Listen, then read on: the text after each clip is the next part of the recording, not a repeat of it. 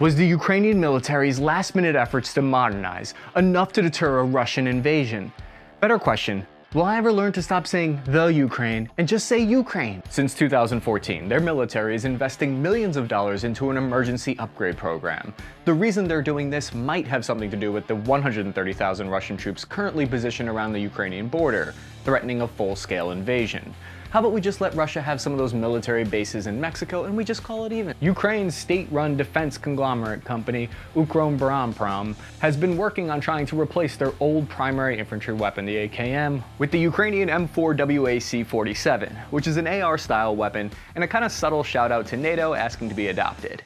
You can swap out the receiver to fire either the old Soviet surplus 7.62 ammo, which they have stockpiles of, or NATO's 5.56mm, so the Ukrainian M4 goes both ways. Is it strange that as soon as Ukraine seriously started considering switching from the AK platform to the M4 platform, that's when Russia really started considering invading. Nope, must be a coincidence. Putin would never do anything petty. So when the Soviet Union collapsed in 1991, one of the largest territories that they lost, with 44 million people, was the country of Ukraine. They voted overwhelmingly for independence at the time.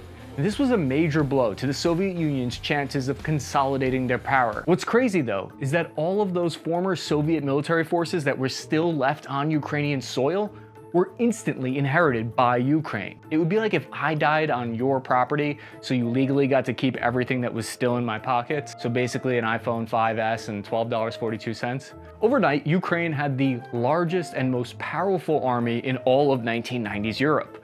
They'd acquired 780,000 troops, 6,500 tanks, 7,000 armored vehicles, 7,200 artillery pieces, 1,100 combat aircraft, and about 1,000 tactical nukes. Those nukes were so tactical. The reason this powerful military force was stationed there was because of the strategic importance and the geographic location of Ukraine. The Soviet Union had spent decades investing in Ukrainian military before their collapse because this was the front door to Europe, and it was their first line of defense against any invasion. Ukraine started off with this huge arsenal. The grouping was purposely designed for waging combined arms warfare and nuclear warfare against NATO. Can we stop to appreciate the irony of that for a second? This fighting force that was created with the express goal of fighting NATO has now today become funded by NATO for the opposite purposes.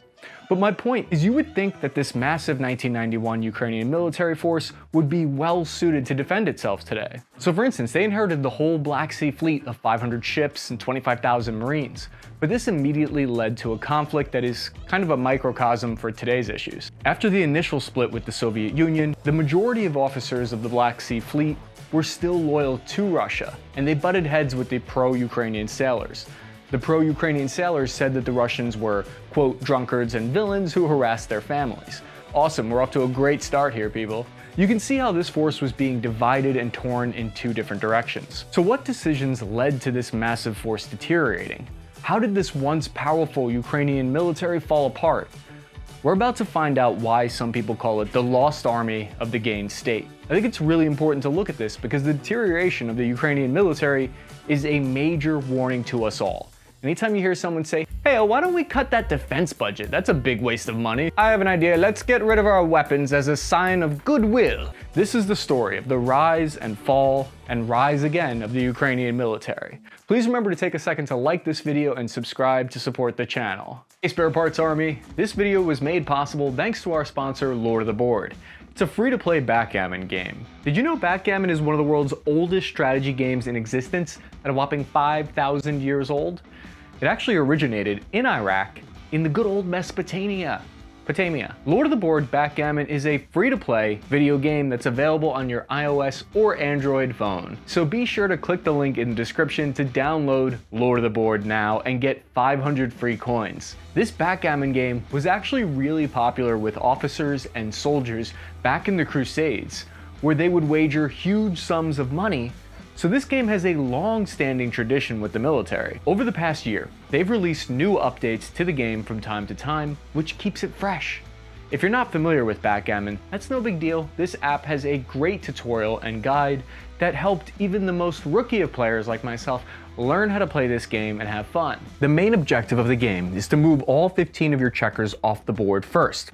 I roll the dice each turn and move my checkers a number of spaces based on the dice. It's an online multiplayer game, so I was instantly paired with a one versus one opponent. Personally, I love the game's excellent design, the unique table designs, and the daily free bonus prizes.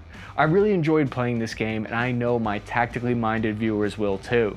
If you think you can beat me at Backgammon Online, then click the link in the description to download Lord of the Board Backgammon and I'll see you in game. In order to understand how Ukraine lost their tremendous army, we need to go back to May 1992, when they were under tremendous peer pressure from the international community. Ukraine signed the Strategic Arms Reduction Treaty, where they agreed to give up and destroy all their nuclear weapons and become a non-nuclear state. We won't let anything bad happen to Ukraine, just give us the nukes and we'll make sure that you're safe. Maybe we'll even let you join our clubhouse NATO. The 43rd Rocket Army was stationed there in Ukraine at the time, and it was the third largest nuclear arsenal in the entire world. Ukraine chose to give up nuclear weapons when the former Soviet Union dissolved. Your decision has made the Ukrainian people much safer and more secure. But I want to put forth a potentially unpopular opinion. I know getting rid of nukes sounds like a good idea on the surface level, but I can't help but think what if Ukraine had held on to those weapons? They might have been able to deter Russia and stop all of this current drama from ever happening in the first place. We'll never know. What we do know is this massive, over 700,000 strong Ukrainian military that they inherited started to fall apart almost immediately. Apparently, it was nice to have all that funding from daddy Soviet Union, who was paying the bill for that large military that Ukraine had inherited. The military cost is too damn high. There's also the theory that some of this deterioration was caused by Russian design. Before the war, during the regime of Yanukovych, the Ministry of Defense was headed by Russian agents. Two successive ministers of defense were Russian citizens, and they completely destroyed our units of high readiness.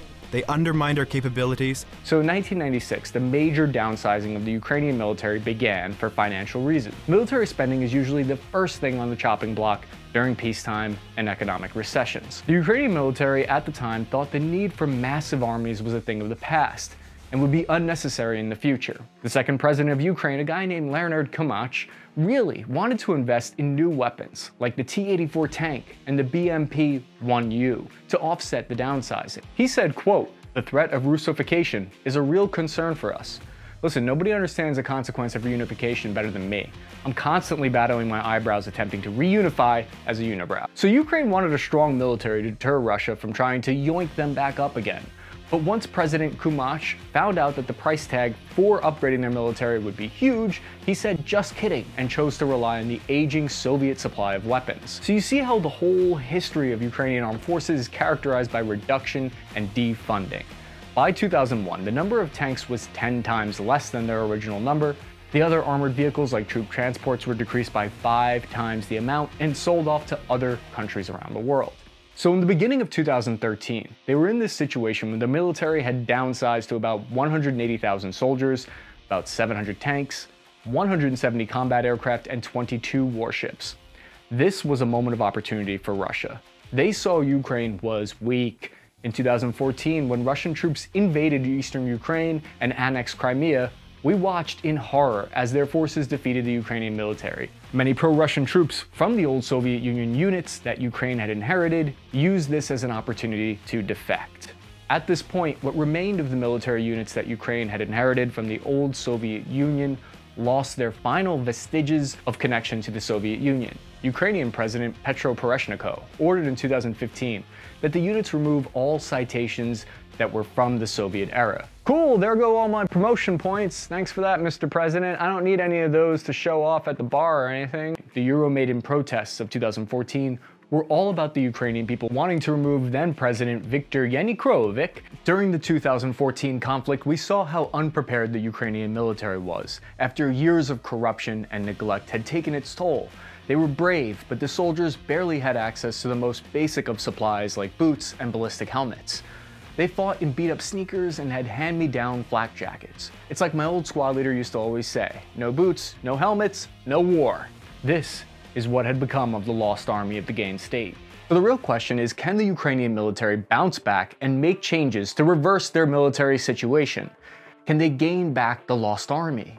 Since 2014, the United States has pumped $2.7 billion into the security assistance for Ukrainian forces. This includes 300 of the high-tech Javelin anti-tank and Stinger anti-air missile systems. Their military spending has increased from 1.6% of their GDP to more than 4% as of 2021. The United States has had Florida National Guard unit soldiers helping to train the Ukrainian troops on these weapons systems. These Florida Army Guard soldiers were removed from the country recently to prevent a case where Russia invades and they get caught in the attack and this causes the whole world to be dragged into World War III. Still wouldn't be surprised if Florida finds some way to end up being involved in World War III somehow. Ukroboronprom has been accused of having a ton of problems with corruption, which they've tried to address with recent reforms, but Transparency International still rates them as very poor. Ukrainian soldiers have since been issued better cold weather boots, ballistic helmets, and sophisticated communications equipment that they lacked in the last go round. They fortified a line of 400 kilometers between them and the Russians. If Russia were to come knocking again, they would be far better prepared and ready to put up a better coordinated fight this time around. Ukrainian troops have been gaining combat experience and confidence over the past eight years in battles in the Donbass region. They've even been training civilians to be ready to fight. Their forces are racing to try to incorporate NATO reforms that are really important, like making their civilian leadership in control of the armed forces. These are military principles that we take for granted in NATO, which are not present in every military around the world. Historically speaking, you have to understand the Ukrainian people have been on the worst end of some of the Soviet Union's atrocities. On the other hand, Ukrainians share most of their culture with Russia, and a large portion of them speak the Russian language. They were a part of their country for the last 100 years. Just so you know my bias and where I'm coming from, I feel like maybe Russia is being reasonable in demanding NATO to stop messing around on their doorstep, but that doesn't change the fact that many people living in Ukraine would be horrified to return to living under their authoritarian control. But I think I can speak for a lot of us when I say, as your former average infantryman, I'm praying for a peaceful resolution there. Thank you for watching Spare Parts Army. Please leave a like and a comment below if you enjoyed this content, and check out this video about the worst ambush in the Afghan war while you're here.